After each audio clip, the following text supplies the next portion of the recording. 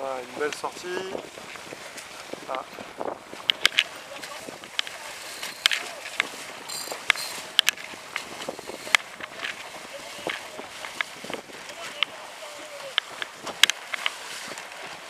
Allez, on s'arrête là?